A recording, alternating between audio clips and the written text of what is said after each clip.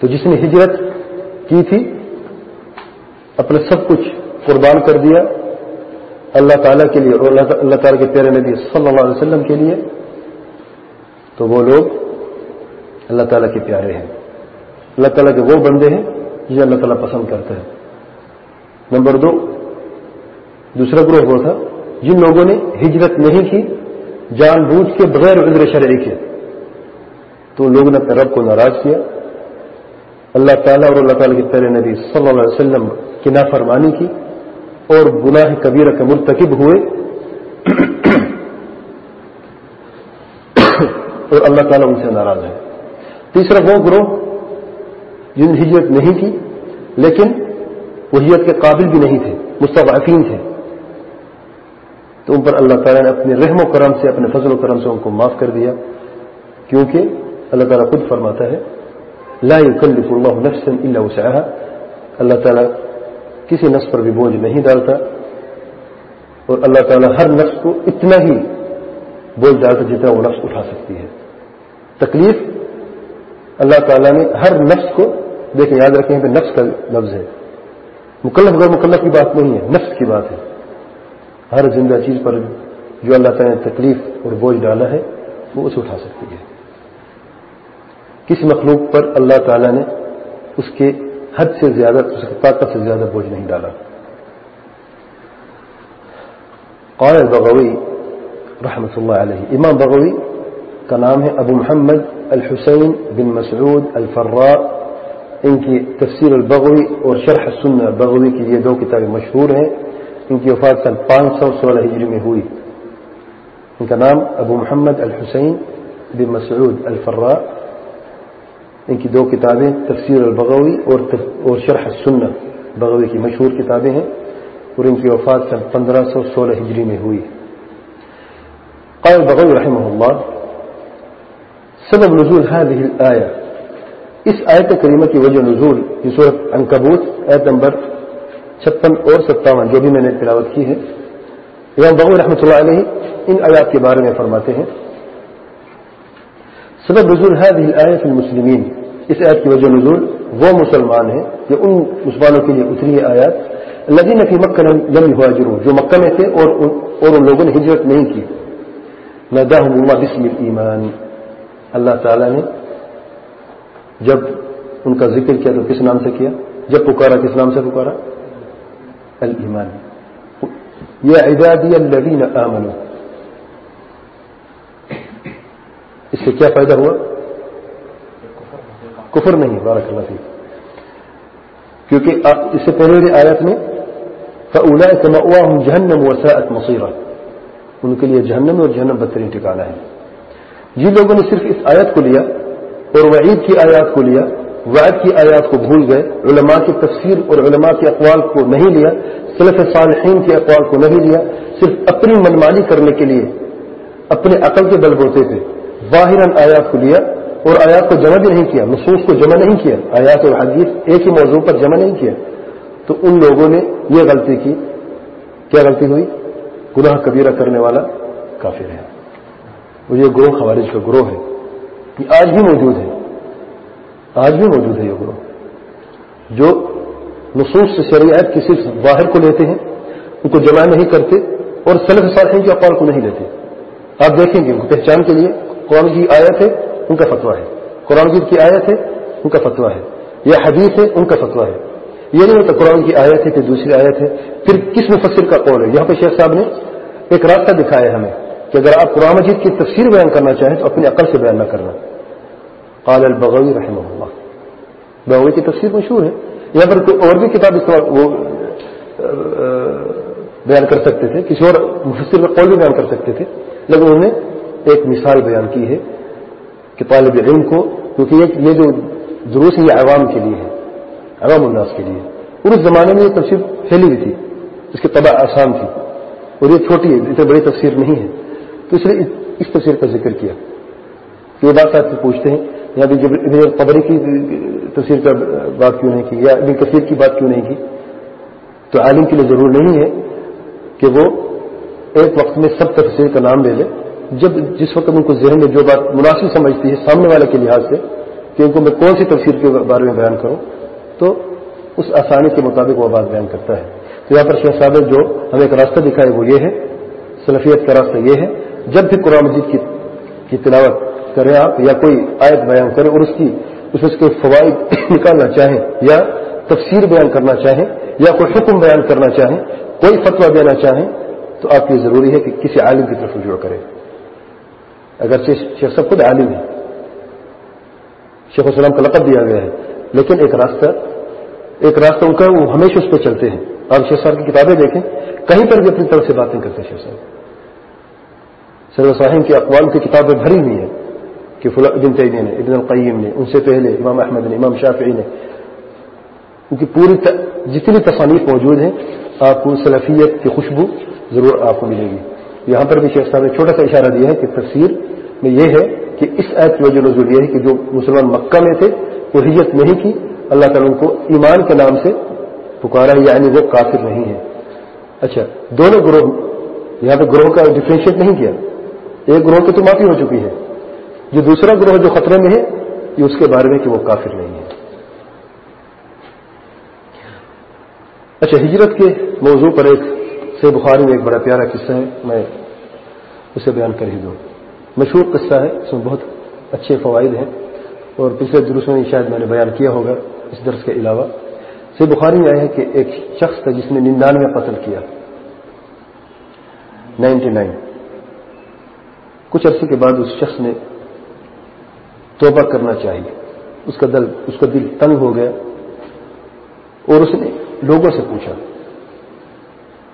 کہ میں توبہ کرنا چاہتا ہوں، تو میں کس کی طرف جاؤں؟ عوام الناس کس کو جانتے ہیں؟ عوام الناس کس کو جانتے ہیں؟ نساک اور روحاب کو جانتے ہیں، یاد رکھیں۔ عوام الناس جو ہے علماء کی طرف کم جاتے ہیں لوگ۔ تو یہ ہر زمانے میں ہوا ہے، یہ آج کے زمانے میں نہیں۔ ہے جو جیسے آج صوفی پھیلے ہوئے ہیں نا، اس زمانے میں صوفی ہوتے تھے، یہ سمجھ لیں آپ۔ یعنی جو راہب ہیں علم نہیں عبادت ہے، عباد جو ہوتے ہیں، صرف ریاضت کرنی عبادت کرنی ہے بس۔ تو کسی نے کہا کہ فلاں عابد ہے، فلاں زاہد ہے، اس کی طرف جو ہے وہ آپ کی رہنمائی کرے گا۔ کیونکہ لوگ جو ہے وہ ظاہر دیکھتے ہیں باقی نہیں دیکھتے۔ ظاہر جو شخص سارا دن عبادت میں لگا رہے، لوگ سمجھتے کہ یہی حق پہ ہے۔ اور دوسرے شخص جو علم والا ہے اگر وہ بھی عبادت کرتا ہے، لیکن اس کی عبادت نظر نہیں آتی لوگوں کو۔ اور لوگ لوگوں کا ڈھیر اور ہجوم ایسے لوگوں کی طرف زیادہ ہوتا ہے اور ان کی دعوت کی تاثیر زیادہ اس لیے ہوتی ہے کہ وہ لوگوں میں زیادہ ملتے جلتے ہیں۔ یعنی آنا جانا، لوگوں کا کبھی کسی پہ دم کر رہے ہیں کبھی کیا کر رہے ہیں اس طریقے سے۔ اب عالم ایسا کام نہیں کرتے لوگوں کو اپنی طرف نہیں بلاتے، عالم جو ہے کیونکہ ان کو علم ہے۔ لوگوں کا دل جوڑا اللہ تعالیٰ کی طرف۔ اب بچے لگ جائیں گے اسے پھونک رہے ہوتے خود جاؤ بھائی، خود پھونکو اس پہ۔ میرے پاس کیوں آئے کیا کہتے کہتے، یار، یہ بڑے سخت لوگ ہیں وہاں بھی یہ سخت ہیں۔ یہ ایک آپ کو راستہ بیان کر اگرچہ ان کو کبھی کبھی لہجے بھی سختی ہوتی ہے، اگرچہ، لیکن وہ آپ کو ایک راستہ دکھا رہا ہے اگر آپ بچے پہ دم بھی کروانا ہے، کیا آپ اللہ تعالیٰ سے دور یا اللہ تعالیٰ کو نہیں سنتا؟ وہی بس اللہ کا عباد جائیں قریب. مجھے وجہ سے گیا عیدا جہان لیکن آپ کسی بھی پیر کی طرف چلے جائیں، بچے میں دم کرنا ہے، تو کبھی آپ کو واپس نہیں کرے گا۔ دم اس نے کرنا ہے۔ دوسری مرتبہ آپ کو تکلیف ہوگی، آپ پھر جائیں گے، پھر دوسرا بچہ ہے۔ ایسے لوگوں کی اب مغرب کی نماز کے بعد آپ دیکھیں، اکثر شہروں میں، گاؤں میں، جہاں پر ہاں دیوبندی یا بریلوی، جو مدارس ہے وہاں پر، ہمارے ملکوں میں، مغرب کے بعد خاص طور پہ کافی لین لگی ہوتی ہے۔ ارے، یہ کس لیے کرے یہاں کوئی دکان بھی نہیں ہے، کچھ بھی نہیں ہے۔ مسجد کے قریب گجرے کے قریب یا شہ سب دم کرے میں نے اپنی آنکھوں سے دیکھا تھا۔ جی ہاں تو یہ جو دم کیا جا رہا ہے، آپ اس کو کہہ سکتے ہو بھائی، آپ یہ یہ قرآن جی کی آئے تھے آپ اس پہ دم کریں۔ ایک تو لوگ خود اللہ تعالیٰ سے رجوع بھی کریں گے اور قرآن پڑھیں گے بھی۔ قرآن رکھے اوپر۔ اس کو آسم لگاتے اور یہ دعویٰ ہے کہ لوگ جاہل ہیں۔ جس کو کل اللہ پڑھنا نہیں آتا شرمنی کی بات نہیں اپنے آپ کیسا مسلمان کہتا ہے؟ یہ تو سیکھ لو۔ سرفات ہے نہیں سرفات ہے پڑھ کے دم کرو۔ علام القیم رحمۃ اللہ علیہ فرماتے ہیں کہ میں سورت فاتحہ پڑھتا تھا اور مکہ میں میں کچھ عرصہ رہا ہوں، میں کئی سال جتنی بیماریاں مجھے ہوئی، میں کبھی طبیب کے پاس نہیں گیا، سورہ فاتح پر دم کر کے میں ٹھیک ہو جاتا تھا۔ صرف سورہ فاتح سورہ فاتح بس۔ ایمان تھا، یقین تھا۔ شفا اللہ تعالیٰ نے دینا ایک سبب بنائے گا اللہ تعالیٰ۔ اور سورہ فاتح میں شفا ہے، شفا ہوگی۔ سورہ فاتح کس مسلمان کو نہیں ہوتی جو نماز پڑھتے ہیں، سورہ آنی چاہیے۔ یہ کوئی نہ کہ ہم یہ نہیں کہتے کہ آپ پورا قرآن کی جو مختلف آیات ہیں پڑھیں۔ سورہ پڑھ سکتے ہیں، اور جو قل ہے وہ پڑھ سکتے ہیں، وہ اس کا دم کر دیں بچے پہ۔ بہرحال تو گئے اس عابد کی طرف۔ وہ عابد سے عرض کی کہ میں نے ننانوے قتل کیے ہیں، میرے کو نجات کا راستہ ہے۔ اس عابد نے کہا، ننانوے قتل اور توبہ کرنے کے لیے آئے ہو۔ جاؤ، تیری کوئی تو توبہ نہیں ہے۔ یہ توبہ کا وقت ہے۔ اس نے خنجر نکالا اور سو پورا کر دیا ہاں سو پورا ہو گیا۔ علماء فرماتے ہیں، اس عابد کو قتل اس نے نہیں کیا، اس کی جہالت نہیں کیا۔ سبحان اللہ ارے وہ تو قتل سے توبہ کر کے آیا تھا اسے رہنمائی چاہیے تھی، وہ قتل نہیں کرنا چاہتا تھا۔ لیکن آگے سے جب جواب ایسا ملا، جب راستہ سب بند کر دیا اس کا، پھر تم کیوں بیٹھو یہاں پہ؟ آؤ، سو پورا کر دیتے ہیں۔ ذرا جب سو پورا ہو گیا، پھر کچھ دنوں کے بعد اس کا دل پھر تنگ ہوا۔ پھر لوگوں سے پوچھا۔ لوگوں کو پتا تھا، جو بیچارہ ظاہر تھا اور عابد تھا، اس کو تو اسے نہیں چھوڑا۔ ایک دوسرا شخص ہے، ہو سکتے وہ اسی کو رہنمائی کر دے۔ اور لوگ اسے ڈرتے بھی تھے۔ اگر ہم رہنمائی نہ کریں، ہم، ہو سکتا ہمیں مار دیں قاتل نے سو قتل کیا ہوا اس نے فلاں شخص کی طرف جاؤ۔ بس اللہ تعالیٰ راستہ اس شخص کو دکھانا اس کی ہدایت کرنی ہے اللہ تعالیٰ نے۔ اللہ بل اسباب بہت ضروری ہے میرے بھائیوں کچھ لوگ سمجھتے بھی ہدایت تو اللہ تعالیٰ دیتا ہے، بس گھر میں بیٹھے کیا ضرورت ہے کہیں جانے کی؟ آپ گھر سے نکلیں گے، ہدایت تب ملے گی۔ اچھا۔ فلاں عالم اس کی طرف جائے۔ اب گئے عالم کی طرف۔ میں نے سو قتل کیا ہے۔ میرے کو توبہ کا کوئی ذریعہ ہے؟ اب علم کا نور دیکھیں آپ۔ اس شخص نے کہا، تیرے اور تیرے رب کے درمیان میں کوئی چیز بھی نہیں آ سکتی۔ اپنے رب سے توبہ کر لیں انشاءاللہ اللہ تعالیٰ کی توبہ قبول کرے گا، لیکن ایک شرط ہے۔ جس ماحول میں رہتے ہو، اس ماحول کو چھوڑ کر فلان جگہ جانا پڑے گا۔ اور یہ ہجرت ہے، جو ہمارا موضوع ہے۔ جس شہر میں رہتے ہو، جس جگہ پہ رہتے ہو، اس ماحول نے تمہیں قاتل بنا دیا۔ توبہ کے بعد بھی وہی ماحول ہے، وہی قتل ہے۔ جانتے ہیں کیوں؟ جس نے اس کا قتل کیا، اس کے رشتے دار تو موجود ہے۔ اب سو بندے کا قاتل اس اسی شہر میں، اسی محلے میں رہے، اس نے توبہ بھی کر لی ہے، داڑھی بھی اس کی آ گئی ہے، اس بیچارے نماز بھی شروع کر دی ہے، تو بدل رہنے والے چھوڑیں گے اسے؟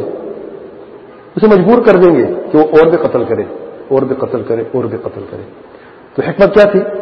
تاکہ وہ شخص واقعی صحیح طریقے سے توبہ کرے تو ایک امتحان ہے اللہ تعالیٰ کی طرف سے، اور ایک حقیقت اس کے لیے ایک حل ہے کہ وہ مکمل توبہ کر کے اس جگہ سے چلا جائے۔ امتحان کیا تھا؟ کہ ہاں ہجرت کرو اس جگہ کو چھوڑو۔ ابھی گھر ہے، بچے ہیں، نام ہے۔ مشکل سے انسان مشکل سے گھر بناتا ہے۔ پھر ایک ماحول ہے، پھر میرا نام ہے یہاں پہ۔ لوگ میرے نام سے ڈرتا ہے۔ یہ سب کچھ چھوڑنا پڑے گا۔ توبہ کرنی ہی تو یہی راستہ ہے۔ اب دیکھیں، توبہ کی قبولیت۔ جب اللہ تعالیٰ دل کو پھیرتا ہے نا، اس طریقے سے پھیرتا ہے۔ وہاں سے نکلا۔ گھر کی طرف نہیں گیا۔ کہ بیوی ہے، بچے ہیں، خدا حافظ کہوں، کچھ پیسہ اٹھانا ہے، کچھ مال اٹھانا ہے۔ ارے گھر ہے، بیچنا ہے، کچھ کرنا ہے۔ سیدھا اسی زمین کی طرف چل چل دیا جہاں پر، جس کی طرف اس عالم نے کہا تھا کہ وہاں پہ جاؤ۔ امتحان میں کامیاب ہوا کہ نہیں؟ شیطان نے جتنا کھینچا گھر کی طرف نہیں گیا۔ اسی طرف چلا گیا۔ یہ ہوتی ہے قربانی۔ راستے میں جاتے جاتے اللہ تعالیٰ کی حکمت ہے، موت تاری ہو گئی۔ جب موت آئی تو اس شخص نے زمین پر ایسے گھسیٹتے اپنے سینوں کو آگے کیا، ایک دو مرتبہ پھر مر گیا۔ اب فرشتے آئے روح قبض کرنے کے لیے، روح لینے کے لیے، رحمت کے فرشتے اور آزاد کے فرشتے۔ رحمت کے فرشتے نے کہا، ہم لوگ اس کی روح لے کے جاتے ہیں، اس نے توبہ کی ہے۔ آزاد کے فرشتے نے کہا، نہیں، یہ سو بندے کا قاتل ہے، اس کی روح تم لوگ کیسے لے کے جا سکتے ہو؟ جھگڑا ہوا۔ اللہ تعالیٰ نے فیصلے کے لیے ایک فرشتہ آسمان سے نازل کیا اور اس فرشتے کو حکم دیا، فیصلہ کا حل کیا ہے کہ زمین کو ماپا جائے۔ اگر اچھے لوگوں کی زمین قریب ہے تو اسے رحمت کے فرشتے لے کے جائیں۔ اگر ابھی فاصلہ زیادہ طے نہیں کیا اور برے لوگوں کی زمین قریب ہے تو اسے عذاب کے فرشتے لے جائیں۔ ابھی فرشتہ زمین پر نہیں پہنچا۔ اللہ تعالیٰ زمین کو حکم دیا۔ اے اچھے لوگوں کی زمین تو قریب ہو جائے، اے برے لوگوں کی زمین تو دور ہو جائے۔ فرشتہ آیا اور اسے ماپنا شروع کیا۔ تو ایک بالش وہ زمین قریب تھی۔ کون سی؟ اچھے لوگوں کی زمین۔ اور یہ وہی بالش تھی جو اس نے سینت ایسے آخری وقت میں، آخری سانس تھی، جو اس نے سینہ اپنا آگے کیا تھا۔ ایک بلشت کی تقریباً اس کے برابر وہ آگے ہوا تھا بس۔ اللہ تعالیٰ کو یہ جو آخری حرکت تھی نا، آخری لمحہ تھا نا، یہ بہت پسند آیا۔ کہ برتے وقت میرے بندے نے آخری کوشش بھی کر لی۔ ایک توبہ ہوتی ہے، ایک آخری وقت روح پاؤں سے نکل گئی، اب روح یہاں پہ آ رہی سینے کی طرف۔ کیا کر سکتا تھا وہ؟ یہ نہیں کر سکتا سینے کو آگے کر سکتا تھا کہ نہیں؟ تو سینے کو جتنا کر سکتا اس نے آگے کیا۔ تو اللہ تعالیٰ کا انصاف ہے اور فضل و کرم ہے اللہ تعالیٰ کا کہ سو انسانوں کے قاتل کو اللہ تعالیٰ نے ایک ہی توبہ سے، ایک ہی وقت میں اس نے کبھی سجدہ نہیں کیا اس شخص نے۔ ابھی توبہ کی اس نے اور ابھی اسے معاف کر دیا اللہ تعالیٰ نے۔ اور اس کے، اس کی روح کو رحمت کے فرشتے لے کے گئے۔ تو اس قصے میں جو ہمارے موضوع سے تعلق ہے، یا عباد الذین آمنوا ان ارض واسعہ فإیای فعبدون اس آیت کو اس شخص نے بہترین طریقے سے اس عہد پہ عمل کیا۔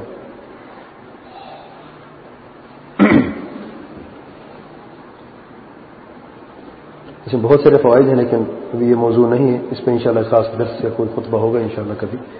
تو ہجرت کے موضوع سے کے تعلق سے کہ ہجرت ایک بڑا امتحان ہے۔ ہجرت میں کتنا ایمان ہے آپ کے اندر اور کتنا قربانی آپ دے سکتے ہیں وہ نمایاں ہوتی ہے۔ اور بہت سارے لوگ اس ہجرت کے موضوع سے غافل ہیں۔ بہت سارے لوگ۔ علم الرحم اللہ۔ اور ہجرت مطلب یہ نہیں ہے صرف کہ مال متاع کمانے کے لیے۔ وہ بھی ہجرت ہے، لیکن وہ دنیاوی ہجرت ہے۔ کچھ لوگ اپنے آخرت کو بہتر کرنے کے لیے ہجرت کرتے ہیں۔ تو اس کی بہت مثالیں ہیں۔ کچھ لوگ دنیا بچانے کے لیے ہجرت کرتے ہیں اور کچھ لوگ دین کو بچانے کے لیے ہجرت کرتے ہیں۔ اور اللہ تعالیٰ دنیا والوں کو دنیا دیتا ہے۔ اور آخرت والوں کو دونوں چیزیں دیتا ہے، دنیا بھی دیتا ہے اور آخرت بھی۔ اگر دنیا ہمیں نظر نہ آئے، لیکن اس شخص اندر قناعت ہوتی ہے۔ اور قناعت اتنا عظیم انعام ہے اس بندے پر، واللہ وہ لوگ جانتے ہیں جن اللہ تعالیٰ، جنہیں اللہ تعالیٰ نے یہ انعام دیا ہے اور یہ نعمت دی ہے اللہ تعالیٰ نے۔ میں ایک مثال دیتا ہوں۔ علامہ البانی رحمۃ اللہ علیہ، آج آج کے دور کے جو محدث ہیں، البانی، البانیہ سے عربی نہیں ہے، اجمی ہے۔ جب کافروں کا غلبہ ہوا اور کافی تکلیفیں ہوئی تو ہجرت کی اپنے دین کو بچانے کے لیے شام کی طرف آئے۔ شام میں آئے، انہوں نے مطلب ہجرت کر کے کچھ بھی نہیں تھا، جو کچھ تھا سب کو چھوڑ کے ہے نا کچھ بھی نہیں تھا۔ اب گھر بھی کرائے پہ لینا ہے اور والدین بھی ہیں، سب کچھ چھوٹا تھا، تو آہستہ آہستہ وہیں پہ عمر گزری ان کی۔ تو گھڑی گھڑی سانس پہ، گھڑی کا کام کرتے تھے، رحمت اللہ علیہ۔ تو ان کے کسی شاگرد نے پوچھا کہ صاحب، آپ نے یہ علم کیسے حاصل کیا؟ یعنی ایک نوکری ہے اور علم دونوں۔ ہم تو یہ ہمارے ذہن میں ہوتا کہ جو علماء ہوتے وہ صرف علم حاصل کرتے رہتے، وہ بیچارے کام، کاج کے نہیں رہتے۔ تو آپ نے علم کیسے حاصل کیا؟ بڑی پیاری بات انہوں نے کی۔ وہ کہتے ہیں کہ فجر کی نماز سے اٹھتا تھا۔ فجر سے لے کے آٹھ بجے تک میں دکان پہ بیٹھتا تھا۔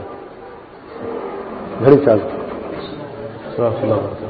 آٹھ بجے جو ہی مکتبہ باہری ہے شام میں، مکتبہ باہری ہے جو ہی اس کے دروازے کھلتے، میں دکان بند کر دیتا۔ اور اس مکتبے کے اندر بیٹھتا۔ زہر کی اذان تک۔ زہر کی نماز پڑھتا۔ اس کے بعد پھر دکان میں آدھے گھنٹے، ایک گھنٹہ بیٹھتا۔ کھانے کا ٹائم ہو گیا پھر کھانا کھاتا۔ پھر شام کو دو گھنٹے جو ریسٹ کے ہوتے ریسٹ نہ کرتا، مکتبہ کا انتظار یعنی کتابیں پڑھ لیتے جو وہاں سے لے کے آتا، ایک یا دو۔ پھر جب مکتبہ کھلتا، پھر مکتبہ کی طرف چلا جاتا۔ یعنی دو گھنٹے جو ہیں، کھانے کے بعد پھر دکان پہ آتا، دو گھنٹے۔ شام کو مکتبہ کھلتا، پھر چار پانچ گھنٹے کے لیے پھر مکتبے چلا جاتا۔ اور آتا جاتا کیسے؟ سائیکل پہ۔ یعنی سر پہ پگڑی۔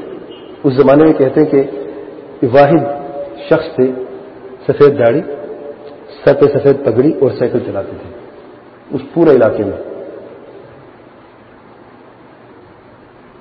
تو سگیز نے کہا کہ پھر آپ گزارے کیسے کرتے؟ دکان میں تو دو چار گھنٹے بیٹھتے بس۔ کیونکہ جب اللہ تعالیٰ نے مجھے گھر بھی اپنا دے دیا۔ ہاں؟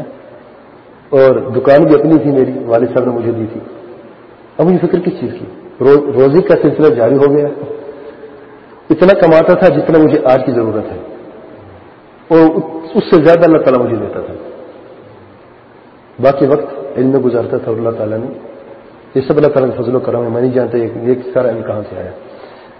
تیرہ تیرہ گھنٹے، بارہ بارہ گھنٹے ڈیلی وہ وقت میں گزارتا تھا وہ شخص۔ یہ ہے قناعت۔ اور یہ صرف ایک مثال ہے۔ امام احمد بن رحمۃ اللہ علیہ اپنے زمانے میں معروف امام ہیں۔ وہ کیا کرتے؟ انہیں زندگی کیسے گزاری؟ جانتے ہیں آپ؟ کوئی لینڈ لارڈ تھے تاجر تھے بڑے؟ کیا کام کرتے تھے جانتے ہیں؟ قلی تھے، قلی۔ سامان اٹھانے والے۔ کتنا کام کرتے؟ صبح سے لے کے دو یا تین گھنٹے۔ جتنا کما سکتے تھے کما لیا، دوپہر کا کھانا لے لیا۔ پھر طلب علم کے لیے بیٹھ گئے۔ وہ جب عالم بن گئے تو حدیث کے لیے بیٹھ گئے۔ شام کو پھر دو یا چار گھنٹے شام کے کھانے کے لیے گئے، بازار میں، سامان اٹھایا، پیسے لے کے آئے، اسے کھانا کھایا۔ ایسی زندگی گزری ہے۔ یہ قناعت کی نعمت ہر ہر انسان کے پاس نہیں ہے۔ ہم سوچتے ہیں اس کل کا اس کو ہم نے دیکھا نہیں۔ سو کوئی حرج نہیں کوئی انسان کا دنیا کمانا چاہتا ہے، خیر سے، کوئی حرج نہیں۔ اس کے مطلب نہیں کہ تم کچھ نہ کماؤ اپنے اولاد کو کچھ نہ چھوڑو۔ لیکن دنیا کو مقصد نہ بناؤ۔ بات یہ ہے۔ کتنے لوگ ہیں جو یتیم تھے؟ ان کا کوئی بھی نہیں تھا جنہیں میں مثال کام کر کے گئے ہیں۔ آپ جتنی بھی ہے یہ بڑے برانڈس دیکھتے ہیں، آج آج کے دور کی بات میں کر رہا ہوں۔ آپ جانتے ہیں بڑے برانڈس کہاں سے ہیں؟ جتنی بھی ہیں یہ۔ ٹائر لے لیں آپ۔ آپ یہ گاڑیاں لے لیں ٹوٹا وغیرہ، یہ کون ہے یہ؟ لین دار تھے، یہ لوگ کون تھے یہ؟ عام لوگ سے تجربہ کرتے گئے محنت کرتے کرتے کرتے کرتے، لیکن انہوں نے اپنا زندگی جو صرف ایک رخ میں گزاری ساری۔ اللہ تعالیٰ نے دیا ان کو۔ محنت کر کے دیکھے اللہ تعالیٰ دیتا ہے۔ چاہتے کیا ہو؟ جو دنیا چاہتا ہے تو دنیا کا کرتا ہے اور جو آخرت چاہتا ہے اللہ تعالیٰ سے دنیا میں قناعت دیتا ہے۔ جس کے پاس قناعت سے ساری دنیا ہے، یاد رکھیں۔ قناعت کیا ہے؟ اللہ تعالیٰ سے مجھے دینا جتنا میری ضرورت پوری ہو جائے۔ ضرورت کیا ہے انسان کی؟ ایک چھت ہو جس میں عزت سے رہ سکے۔ بیوی اور بچے ہوں اور ایک کام ہو جس میں حلال سے وہ کما سکے۔ اور سواری ہو تو الحمد للہ وہ سائیکل مل گئی۔ بیوی بچے بھی تھے علامہ البانی کے۔ اور اپنا مکتبے میں کہتے میرے پاس پیسے نہیں تھے، میں کتاب خریدوں۔ پیسہ نہیں تھا۔ تو میں مکتبے میں جا کے بیٹھتا تھا اور وہاں پر پڑھتا تھا۔ تو آہستہ جب میں دیکھا کہ یہ شخص بارہ بارہ گھنٹے ڈیلی پڑھتا ہے، تو مجھے خاص جگہ دے دی بیٹھنے کے لیے۔ اور کتابیں میرے سامنے آ کے رکھتے تھے۔ آہستہ آہستہ جب ایسے وقت گزرتے، مجھے ایک خاص کمرہ دے دیا۔ اور آج تک پورے ملک میں کسی کے لیے کسی مرتبہ کمرہ کسی کو نہیں ملا آج تک۔ صرف ان کے لیے تھا بس۔ تو قناعت بہت بڑی۔ نعمت ہے جو بہت سارے لوگ اس قناعت سے غافل ہیں۔